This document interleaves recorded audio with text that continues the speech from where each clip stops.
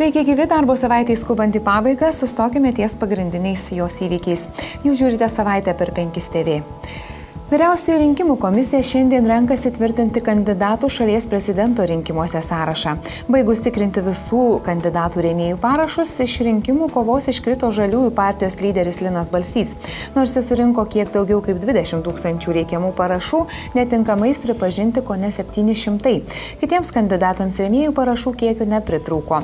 Vyriausioji rinkimų komisija jau anksčiau patvirtino darbo partijos atstovą Artūrą Paulauską ir Lietuvos Lenkų rinkimų akcijos lyderį Valdemarą Tomaševskį Krasnodębski, prie jų turėtų prisidėti ko nedaugiausiai beveik po 70 tūkstančių parašų surinkę prezidentė Dalė Grybauskaitė ir socialdemokratas Zigmantas Balčytis, taip pat Vilniaus meras Artūras Zuokas, Seimo narys Naglis Puteikis ir Ignalinos meras Bronis Ropė. Pirmasis prezidento rinkimų turas vyks po kiek daugiau nei mėnesio, gegužės 11. -ąją. Šią savaitę Rusijos veterinarijos tarnyba paskelbė, kad nuo balandžio 7-osios iš Lietuvos ir Lenkijos nebeįsileis gatavų mėsos produktų, kuriuose yra keulienos, dėl afrikinio keulių maro grėsmės. Tačiau Europos komisija mano, kad tiek Lietuva, tiek Lenkija atliko visus veiksmus užkirsti kelią marui plisti, todėl nusprendė kreiptis į pasaulio prekybos organizaciją. Nuo šiandien Lietuvos vyriausybėje įvykus susitikimui dėl šio klausimo, premjeras Elgirdas Butkevičius paskelbė, kad lietuviškų mėsos produktų eksporto embargo embargo priežastys yra techninės ir geriausiai tai spręsti Europos komisijos lygių. Paklaustas, ar šiai nusprendus kreiptis į pasaulio prekybos organizaciją Rusija gali atšaukti embargą, premjeras teigia, kad iš pradžių 60 dienų vyksta dėrybos ir jeigu susitariama, kreipimosi nebebūna. Taigi tikimasi, kad šiuo atveju kompromisas bus pasiektas. Premjero teigimu susitikime kalbėta ir apie naujų eksporto rinkų atvėrimą. O štai į Rusiją Lietuva per metus išveža už maždaug 170 70 milijonų litų keulienos gaminių. Nuo gegužės mėnesio žadama imtis veiksmų šešėlių iš sveikatos apsaugos sektoriaus išgyvendinti. Sveikatos apsaugos ministras Vitenis Povilas Andriukaitis ir kitos už kovą su korupcija ir darbo teisės nuostatų laikymasi atsakingos institucijos pasiryžo aiškintis, kaip medikai suspėja teikti aukštos kokybės paslaugas, dirbdami keliose įstaigose ir ar teisėtai jie gauna pajamas. Iš 14-15 tūkstančių Lietuvoje dirbančių medikų maždaug 911 dirba trijose ir daugiau įstaigų. Rekordininkai suspėja dirbti ir 11 darbo vietų. Specialiųjų tyrimų tarnybos atstovų teigimu sveikatos apsauga yra vienas labiausiai korumpuotų sektorių Lietuvoje. Taigi nuo gegužės pirmosios prasidėsianti valstybinės mokesčių inspekcijos Baltų halato akcija bus pirmas žingsnis šio sektoriaus skaidrinimo link.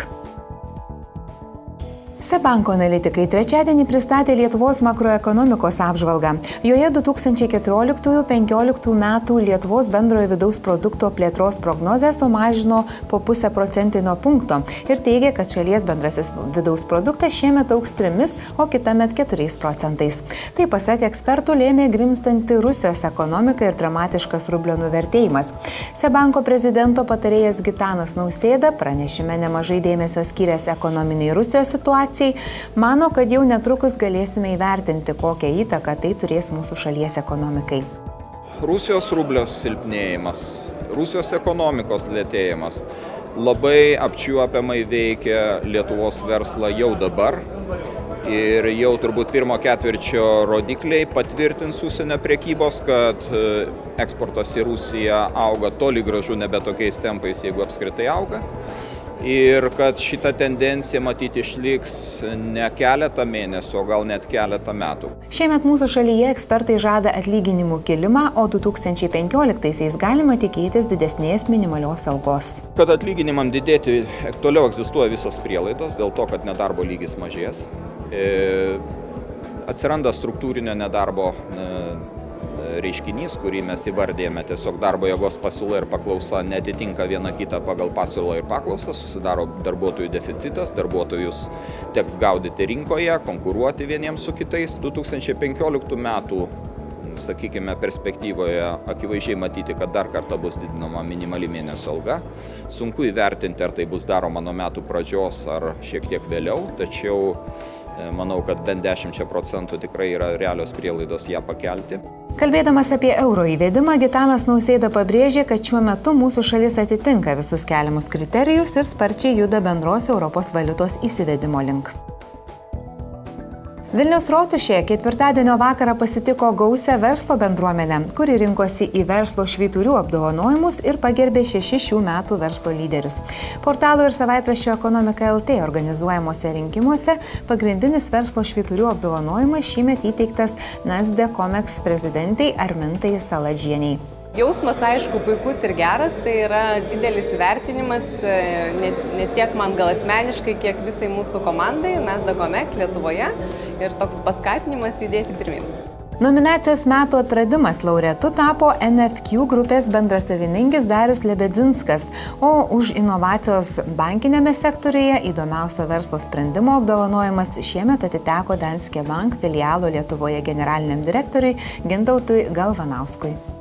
Pokyčiai bankininkystėje yra didžiuliai ir jie susijęti su technologijomis, susijęti tikrai su, su tais sprendimais, apie ko mes šnekame ir mes ateityje matom banką tikrai kitokį, jau nebe taip kaip turbūt dar prieš dešimt metų, kai mes galvojame, kad bankas tai yra ta vieta, į kurią reikia ateiti. E, bet iš tikrųjų tai e, didžioji dalis e, reikalų, kuriuos kiekvienas norėtų išsispręsti bankė, jie dabar galimi išsispręsti juos nutolusiu būdu, net neteinant. Specialiąją nominaciją už efektyvumą viešajame sektoriuje gavo buvusi ir šiuo metu jau iš Lietuvos išvykusi investuok Lietuvoje vadovė Milda Dargužaitė.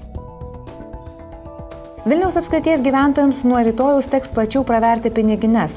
Už atliekų išvežimą teks mokėti maždaug trečdalių brangiau. Miesto savivaldybei 63 procentais padidinus kazokiškių savartino vartų mokestį, iki šiol už šiukšlės kas mėnesį mokėja po 21 centą už kvadratinį metrą, nuo rytojus gyventojai mokės iki 27 centų už kvadratinį metrą. Skaičiuojama, kad dėl tokio miesto valdžios sprendimo 70 kvadratinių metrų būto savininkui metinė metinės šiukšlių išvežimo išlaidos padidės nuo 176 iki 227 litų, o gyvenantis 50 kvadratinių metrų būte mokės nuo 126 iki 162 litų. Didesnė sąskaita ateis jau balandžio mėnesį. Šią savaitę į sostinės gatves jau išrėdėjo miesto gyventojų ir svečių pamėgti savitarnos sistemos Cycle City Vilnius dviračiai. Šiemet sezonas pradėtas anksčiau, bet to žadama įrengti daugiau nei pernai, tai yra iki 36 savitarnos terminalų, kad būtų galima pasiekti dar daugiau lankomiausių miesto vietų. Dviratininkai gali rinktis ar registruotis visam sezonui, ar pirkti dienos ar 10 litų kainuojantį 3 dienų bilietą.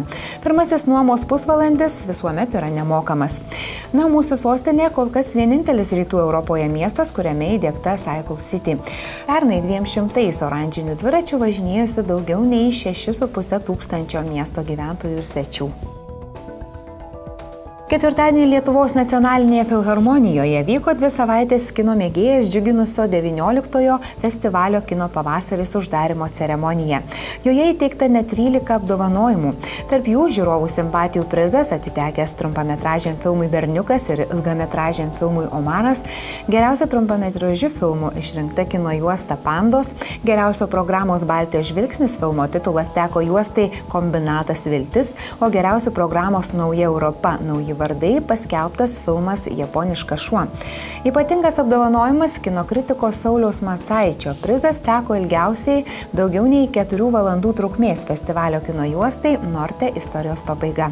Kino pavasario organizatoriai pasidžiaugė sklandžiai praėjusią kino fiestą ir kaip visuomet padėkojo ištikimiems festivalio lankytojams, kurių šiemet sulauktas rekordinis skaičius apie 100 tūkstančių.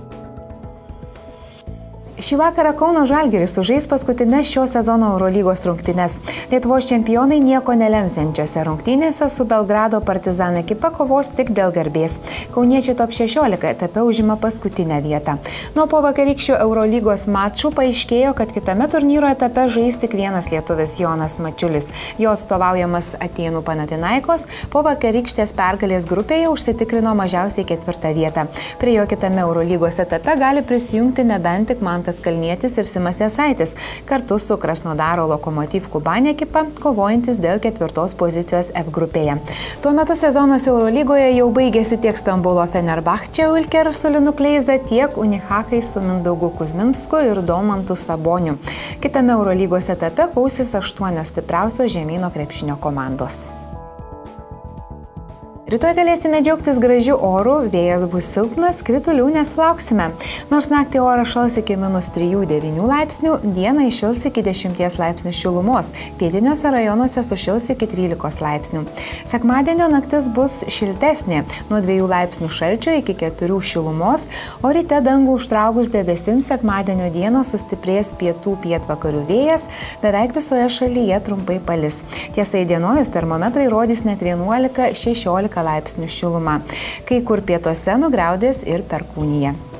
Kągi šią savaitę tiek, atsisveikiname, dėkui, kad esate kartu ir pavasariškos jums nuotaikos.